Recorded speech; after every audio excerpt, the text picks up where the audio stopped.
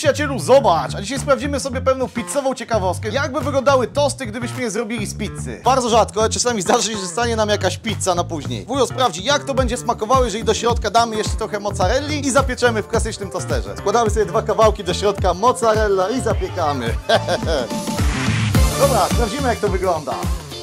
No, no, no. Jest ciekawie. Daję, to jest naprawdę bardzo dobre. Pizzowy tost, wujo poleca.